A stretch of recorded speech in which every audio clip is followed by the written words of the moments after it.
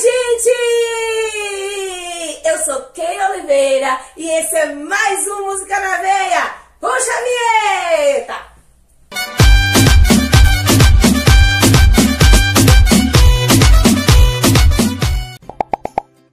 E no programa de hoje eu tenho a honra de receber o meu amigo guitarrista de mão cheia, Hilton Gonçalves. Vem pra cá, meu amigo! Tudo bom? Bem, Hilton, é um prazer receber você aqui no programa. Estou muito feliz, viu? E Hilton, gente, que colocou a base para Júlio Luz no programa de Júlio Luz foi esse mestre aqui que estava tocando, que arrasa também no violão, viu? Obrigado, e obrigado. eu preciso saber, Hilton, como é que começa a sua história com música? Porque você é um guitarrista nato, né? Conte aí, como foi que começou essa história da sua vida como, como músico? Bom, minha história como músico assim surgiu primeiramente assim pela vocação que eu tinha de aprender um instrumento, né? Aí primeiro eu comecei pelo cavaquinho, né? Na época que pagode era bem aceito, assim, né? E então era um ritmo mesmo que na época as pessoas estavam curtindo muito, entendeu? E aqui um bocado de gente, né, tocava e tal. É, Isso. Aí eu fiquei uma boa parte do meu tempo se dedicando a cavaquinho. Aí depois eu comecei a tocar violão? Só. É, aí depois, aí eu fui numa festa, né? Aí quando eu chego lá, eu vejo uma banda tocando guitarra, com um guitarrista, velho, fazendo um solo, assim, É isso que eu quero pra minha vida. É, eu falei, não, eu quero, eu quero ser guitarrista, entendeu? Só que assim, na época assim, guitarra aqui, na época não era muito, não, existia, né? não existia. Aí o que acontece? Aí um amigo meu me chamou, porque eu tocava violão, falando que queria me colocar numa banda para fazer guitarra, entendeu? Só que eu nunca tinha pegado uma guitarra na minha vida. Mas era a oportunidade que você precisava. É, também. Eu falei pra ele, não, não quero não, porque assim eu toco violão, cara, eu não sou guitarrista. Ele falou, não, mas fulano, não sei, um amigo meu, um colega meu falou que você é guitarrista, pã. E aí assim, de tanto ele insistir, a gente começou a pegar um vínculo de amizade, né? É. É, aí eu, acabei aceitando o convite, a gente foi é, pra uma banda de forró na época, né? Olha, era daqui mesmo, era daqui? Era daqui, Paixão Ardente. Né? Ah, eu lembro. Lembra? Lembro. Quando fala o nome, eu... Então, esse amigo que me incentivou é Preto, né? Que é conhecido Valdemar. Valdemar Valdemar Preto. Meu grande brother. Um abraço aí, viu, Pretão? É, com certeza vai estar assistindo a É gente. isso aí, então. Aí a gente começou a tocar na banda, pã. aí eu comecei como guitarrista. Aí depois surgiu a roça, né? Aí Preto pã, me faz o convite, vamos montar um grupo de arroça. Eu falei, não, cara, a gente está numa banda grande, montar uma roça, só teclado e guitarra. Só que de tanto a gente eh, ter um vínculo de amizade forte, eu acabei aceitando. Entende? Já tava tudo em casa mesmo, né? Já. É, e aí a gente começou a amizade e começou a criar o grupo, né? Na época. A gente criou aí uns três grupos na época, assim. Mas o que veio dar resultado, assim, foi o Sensação Light, né? É, que foi na época que até a gente falou sobre e tal, o grande sensação light. Isso aí. Aí depois disso a gente gravou um CD, graças a Deus foi bem aceito, foi sucesso na época, entendeu? E aí a gente gravou o segundo CD, gravou o terceiro CD, e aí a parceria eh, levou pra mim, né? Pra mim, durou uns 12, 13 anos, né? Ai, E depois muito que. tempo. eh, depois que meu amigo eh, Valdemar ele, ele saiu do, do grupo, né? Eu fiquei, né? Entendeu? Aí eu fiquei. Aí tipo assim, aí depois aí surgiu as pessoas, ah, por que você não faz cachê, pô? Eu falei, rapaz, não, eu trabalho mais fixo. É, Dá entendeu? mais uma desmotivada, né? É, só que daí é, o cantor, né, Júlio Luiz, que estava fazendo uma entrevista, né? Exatamente. Então, aí ele falou, não, se você quiser fazer cachê quando não tiver, a banda não tiver agenda, né? Não tiver show, você pode ir. Aí eu comecei fazendo um cachê e daí comecei a passear, é, é, como é que eu vou te falar assim, conhecer outras bandas, né? E conhecer novos amigos, daí tô até hoje. Me, me diga aí, mais ou menos, me fala mais ou menos algumas bandas que tu lembra que tu participou. Que eu vou te falar, tem banda que eu nem lembro, mas eu Nem- vou te falar só que eu lembro, né?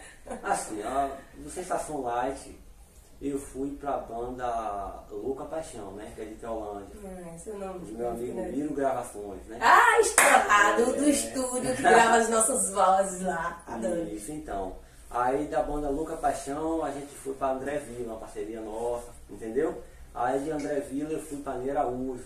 né? Aí toquei dois anos com o Ney Araújo, É, nem Araújo é de onde mesmo? de Venceslau, Ah, tá que eu conheço, mas eu não sabia. Eu pensava que era de Gandu. meu brother. Um abraço. E depois eu toquei e recebi o convite para tocar com o Neto Azevedo na época. Só que daí eu decidi ficar em outro projeto, né? E assim, eu tocava com, com a banda de Tamarim, Rizão Malete, entendeu? Ah, o cara é rodado, gente. Lá brinca. Aí assim, depois de Rizão Malete eu recebi o convite para tocar com o Júlio Léo. E aí, com o Júlio Léo ele toca até hoje, né? Ah, é a dupla de É Belândia que de você Belândia. comentou. Ai, É. é. Aí, Hamilton Ferrari, né? Eu, Que agora é. Hamilton Fernandes. Hamilton Fer- Hamilton Fernandes. A gente tem que se policiar, porque deixou de ser Hamilton Ferrari. Isso. Aí depois eu recebi o convite para tocar com o Gabriel Sampaio, né? Fiquei um tempo com ele, assim. E já depois que ele tinha gravado o primeiro CD, né? Aí a gente acabou gravando o segundo CD. E depois é, dessa parceria aí que eu tive com o Gabriel, né? Aí assim, eu faço cachê com outras bandas, Binho Capilec, né? E, já- e esse pessoal que tu tá dizendo agora, tu faz banda, tu faz cachê atualmente? Olha, algumas bandas é, que já passaram, né? Ah, tá. Entendeu? E agora? E agora? Tá trabalhando, faz cachê muito com quem, assim? Olha, hoje, atualmente, eu, eu tô tocando com Rick Andrade e os filhos de Maninho. Ah, os entendeu? maninho, né? É. Quero vocês aqui, viu? E com o Léo também, né? É pessoal de gente, Teolândia. é, é o pessoal de Teolândia, é um pessoal de gente boa que a gente vem fazendo som junto aí. Que já fica o convite É. também, né, João e Léo? Participar do programa. Música na Veia. Aí, assim, teve outras bandas, né, que eu toquei também, assim, que eu fiz cachê por fora. É, mas, assim, as bandas que passaram mesmo foram essas aí, entendeu? Que é um bocado de banda, né? Então, experiência aqui é que não falta, é o que não falta, né? Agora, Ito, me diga aí, você encontra muita barreira, muita dificuldade? Essa Olha, sua andança aí como, como músico? Olha só, a vida de músico assim não é muito fácil, né? Todo mundo sabe. A, a gente tem que estar todo dia estudando, tem que estar ouvindo música, tem que estar praticando, dedicando a maior parte do seu tempo, por exemplo, eu mesmo, eu dedico no mínimo uma hora, uma hora e meia por dia. Não posso, fa- não posso ficar sem essa dedicação, entendeu? E assim, para viajar, a única coisa que eu não gosto de falar, assim, é, eu gosto de viajar muito, entendeu? Ah, quando eu saio para tocar, eu esqueço tudo. Ai, é entendeu? assim, quem gosta, que, eu, eu digo sempre que quem trabalha com música é porque gosta. É. Porque é cansativo, mas é muito prazeroso. Prazeroso. É muito prazeroso. E aí tem a galera da resenha, e as viagens se tornam, sabe, um, um clube de férias praticamente, aí, né? o melhor, o melhor mês para nós músicos sempre vai ser o São João. É. Né? Sempre vai ser o mês de correria e a gente se deleita, porque é tudo de mais lindo, eu adoro.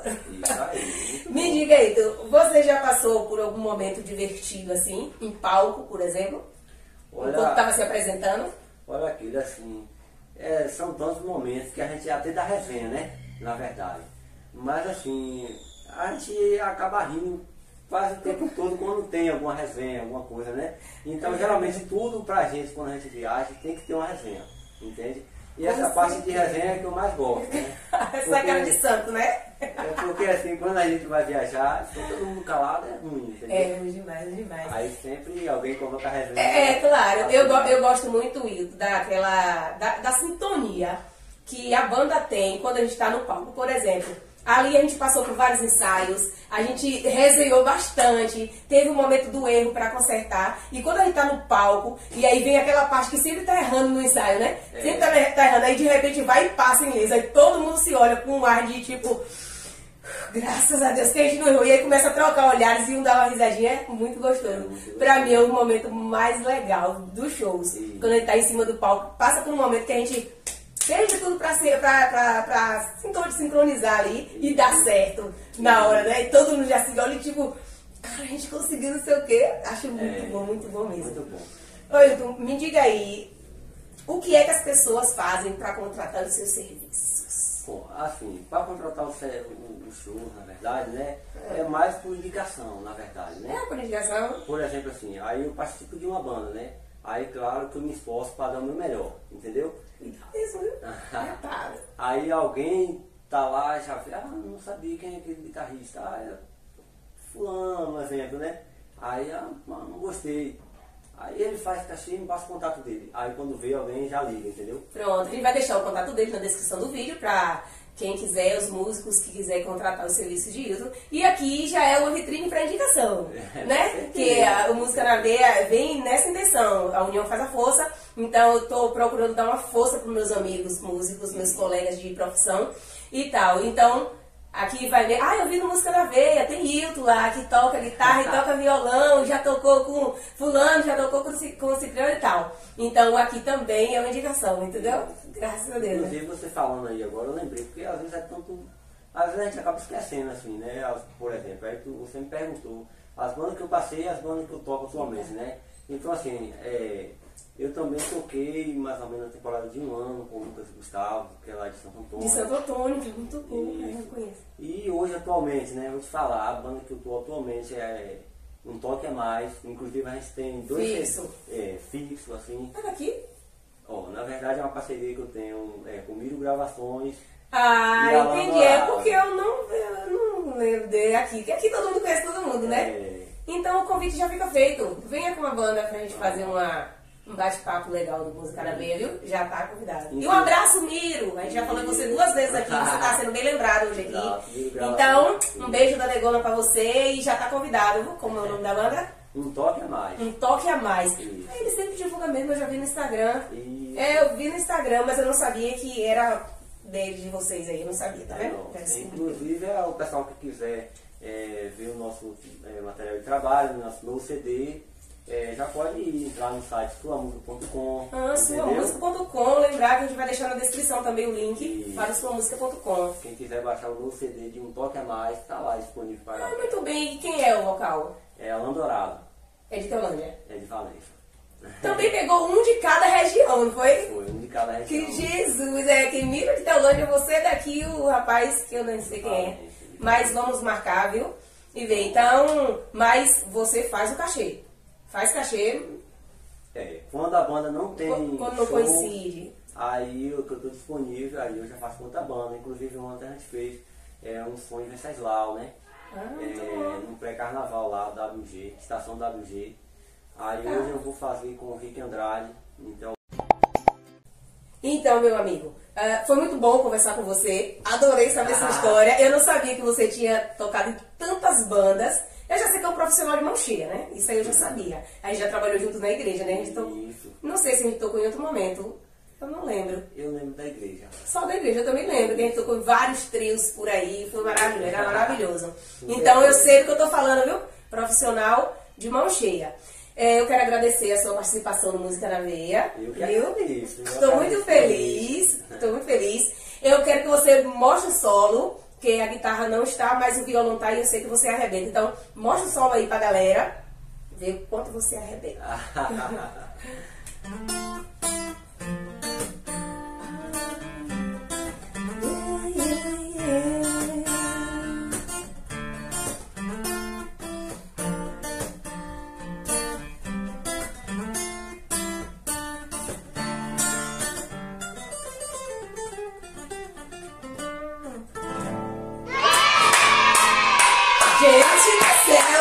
parabéns, bom demais. Eu senti vontade até de cantar a música toda.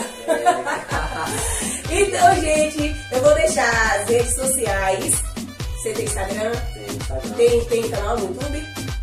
Canal no YouTube, né? Não, né? Mas tem Instagram, então a gente vai deixar o link do Instagram, o contato para shows, quem quiser contratar o, é, o guitarrista ou o violonista, né? Ele faz os dois. E sigam nossa amiga aqui, viu? E vocês vão adorar. E quem gostou do vídeo faz o quê? Deixa, exatamente, seu like, se inscreva no canal, não pode esquecer de se inscrever no canal para acompanhar tudo que tá rolando e que vai rolar ainda aqui no Música na Veia.